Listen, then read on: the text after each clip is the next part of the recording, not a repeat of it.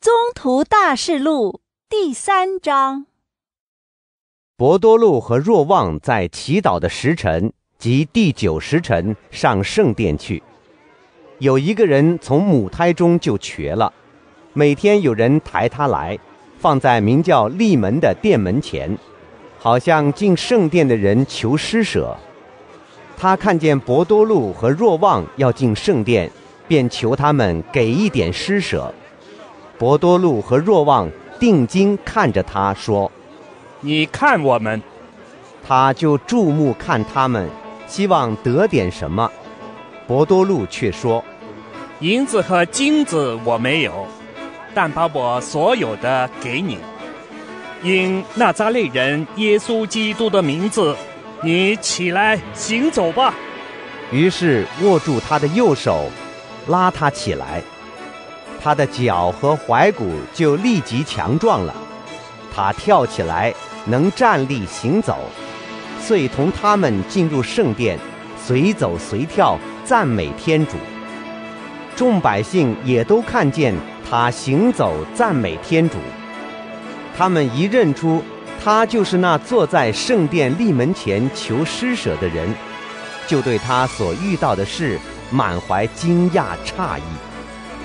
当那人拉着博多禄和若望的时候，众百姓都惊奇地跑到他们那里，即到名叫撒罗满廊下。博多禄一见，就发言对百姓说：“诸位以色列人，你们为什么对这事惊奇？或者为什么注视我们，好像是我们因自己的能力或热心使他行走？”亚巴郎、伊撒格和雅各伯的天主，我们祖先的天主，光荣着自己的仆人耶稣，他就是你们所借送，并在比拉多前所否认的。虽然那人原判定要释放他，你们却否认了那圣而且义的人，竟要求把杀人犯恩赐给你们。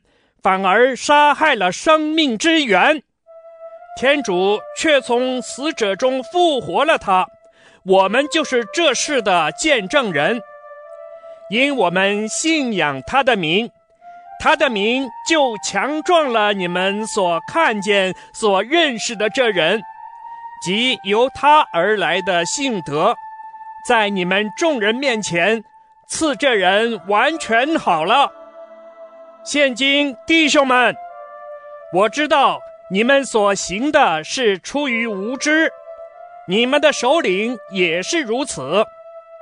但天主借着众先知的口预言他的墨西亚当受难的事，也就这样应验了。你们悔改并回心转意吧，好消除你们的罪过。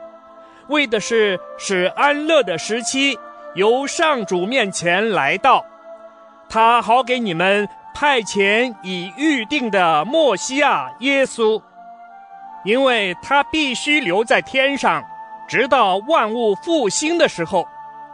对此，天主借着他古圣先知的口早已说过了。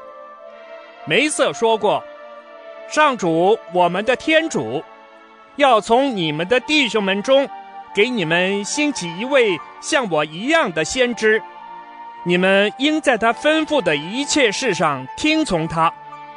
将来无论谁，若不听从那位先知，必从民间铲除。其实所有的先知，自撒母耳起及以后讲话的先知，都预言了这些日子。你们是先知和盟约之子，那盟约是天主与你们的祖先所订立的，因他曾向亚巴郎说：“地上万民都要因你的后裔获得祝福。”天主先给你们兴起他的仆人，派他来祝福你们，使你们个个归一，脱离你们的邪恶。